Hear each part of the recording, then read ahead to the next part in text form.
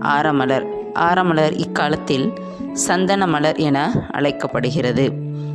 ஆரம் தின்கால் ஆரம் மலை செஞ்சாந்தின் ஆர மார்பினன் என்பன போன்ற வரிகள் மக்கள் தங்கள் மார்பில் சந்தனத்தை பூசிக்கொண்டனர் என்ற செய்தியை வெளிப்படுத்துகிறது.